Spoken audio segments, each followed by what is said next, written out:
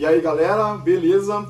Hoje vamos trocar ideias sobre o que rolou, sobre alguns detalhes do que rolou no desafio do Caminho da Fé que a gente fez é, há uns três dias atrás. E lembrando que o documentário total, o documentário oficial, vai ao ar dia 26 desse mês, ou seja, domingo que vem, às 6 da tarde, a gente vai colocar o documentário ao ar. Então não esquece, já aciona as notificações, tem o sino na home. Você acionando essa notificação, você vai receber esse documentário em primeira mão para você assistir. E já te adianto, velho, o negócio ficou animal.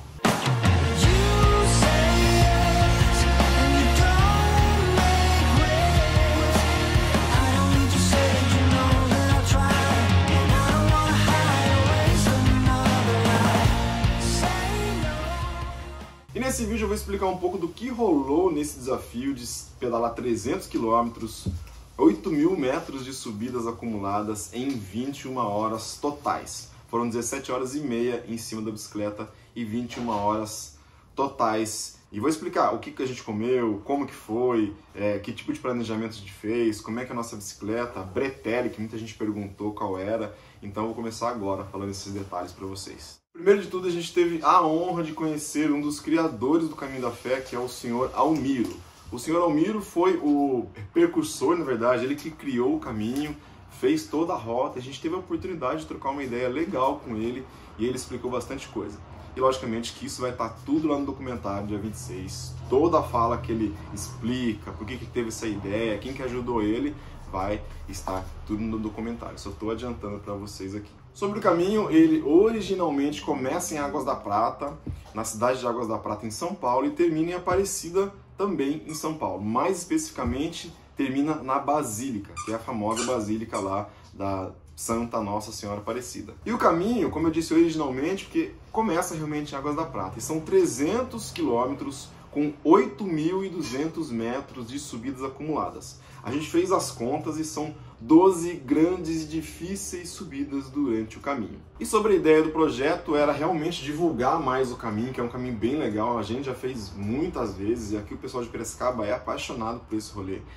Sim, divulgar o caminho e também a gente botou como objetivo fazer o caminho em menos de 24 horas, ou seja, não fazer longas paradas, porque a gente já fez em 3 dias, em 4 dias, e a gente resolveu fazer em uma vez só. Então a gente falou, ó, 24 horas a gente tem para fazer os 300 quilômetros do caminho da fé. Sobre o planejamento durante o caminho, a gente teve o auxílio, né, a gente teve o suporte do Ricardo Simons, que é o nosso coach que trabalha na Bioeco Sports, já acompanha a gente. Eu falo a gente, Pedrão, eu, já há muito tempo, desde 2016 que os caras montam planilha pra gente, acompanham a gente de perto, e essa evolução que a gente teve foi graças aos caras.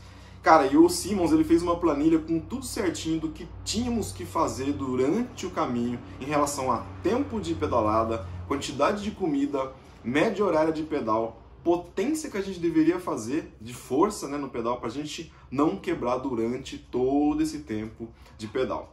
Então, a tabela que está aqui no vídeo que vocês estão vendo, ele fez e seguimos a risca para que desse tudo certo. E sim, deu tudo certo. Como vocês podem ver na tabela, tem até os horários de parada e a cidade que a gente deveria parar para comer e dar uma breve relaxada. Essas relaxadinhas que a gente teve ali de 20, é, 25 minutos, meia hora, foi essencial é, para a gente não quebrar, não sobrecarregar o nosso corpo e para a gente conseguir finalizar o rolê bem. Sobre alimentação, a gente focou em coisas é, simples e de fácil digestão e absorção é, para o nosso corpo. Então a gente teve, a gente fez pequenos wraps esse um recheado com frango.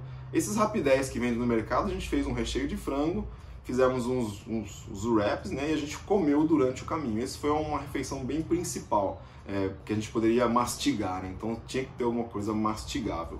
Além disso, é, gel de carboidrato, maltodextrina, whey, chocolates, energéticos, Coca-Cola e muita, mas muita água durante o pedal. É, sobre as nossas bikes, não fizemos nenhuma alteração nela. Então, por exemplo, o Pedrão e eu, a gente usa a coroa 34. Muita gente mandou mensagem, nossa, vocês vão sofrer, que é difícil, tal, tal, tal. Falou, não, vamos de coroa 34 que dá, dá sim. Até porque a gente está usando o cassete com 52 dentes atrás, então tinha bastante marcha ali, é, tinha um range bem legal para a gente poder utilizar.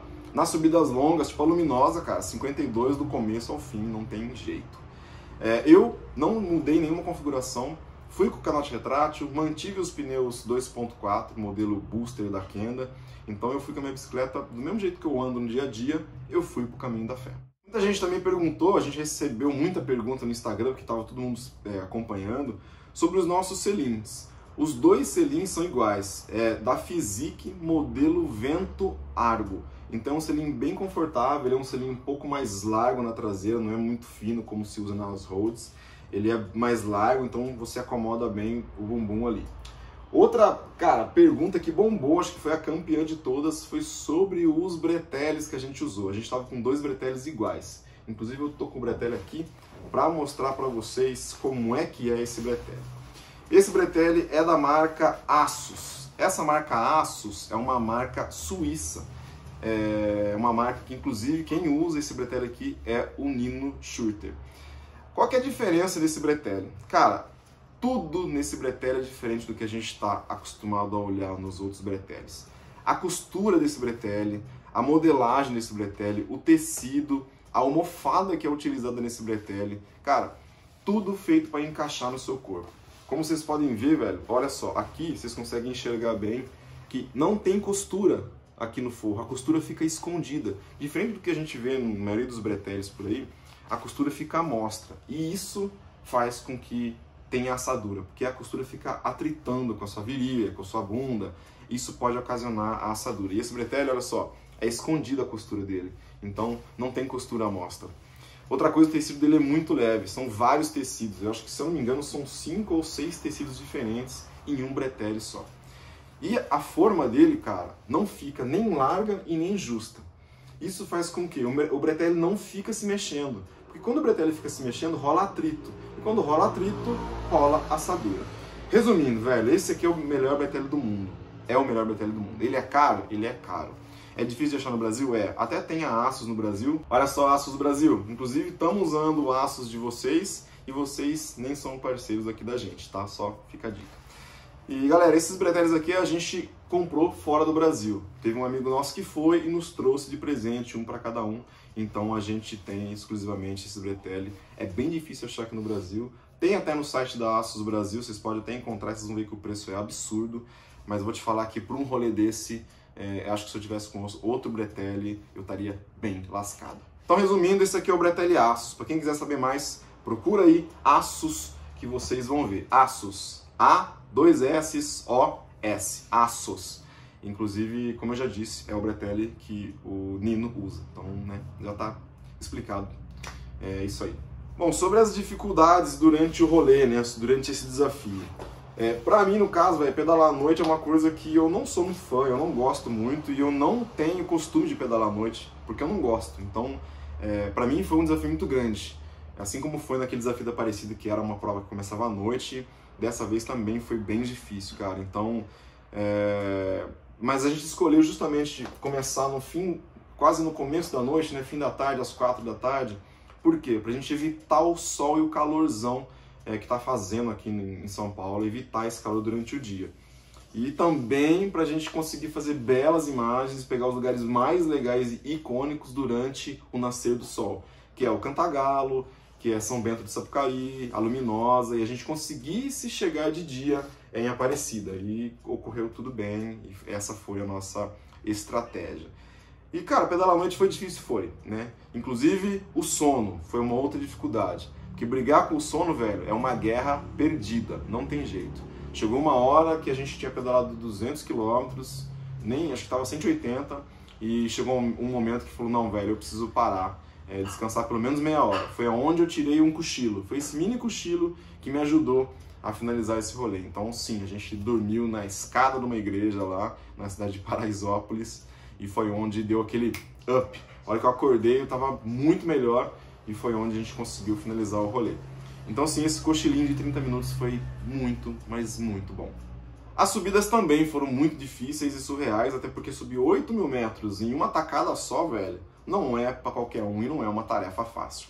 É, e a parte mais difícil foram as duas últimas subidas, que é a subida do campista e a subida do horto, ambas as duas já em Campos do Jordão. Então só faltava as duas para a gente conseguir descer Pedrinhas, Gomeral e chegar na retona de 22 quilômetros até Aparecida. Então essas duas últimas subidas foram assim para a gente subiu ali a 5, 6 por hora só pensando no final é, desse rolê. Bom, e a chegada em Aparecida foi uma coisa assim maravilhosa, um sentimento de dever cumprido. Eu até falei que eu tava febril lá na, na live que a gente fez e realmente estava de tanto esforço, é, de sono, de fome, de tudo. E só pensando num banho e numa boa cama. E realmente foi isso. A gente chegou no hotel depois, cara, pá, paguei. Tomei banho, deitei, apaguei. Pum, desligou a chave. É, cara, e foi isso. A gente conseguiu fazer o caminho em 21 horas, totalizando tudo, com as paradas de comer, desse cochilo e tudo mais, sendo que foram 17 horas e meia em cima da bicicleta. Ou seja, é muito tempo, então haja bunda, haja perna, haja disposição, haja treino. E logicamente que sem o apoio que a gente teve, né?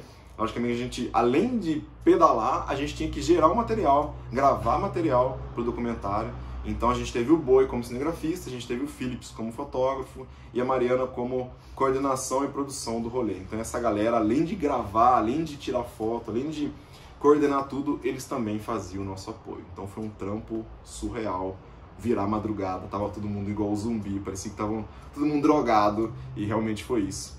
É, mas deu tudo certo, ainda bem. Então se liga, dia 26, o rolê vai estar tá no ar. Presta bem atenção, aciona o sino na home Fica ligado no nosso Instagram que lá vai ter todos os detalhes certinho. E se você ficou com alguma dúvida, tem alguma curiosidade do que rolou, o que eu não falei ou esqueci de falar, pergunta aqui nos comentários que eu vou responder para vocês sobre isso. Então é isso. Até dia 26, se liga do documentário Caminho da Fé em um dia. Tchau!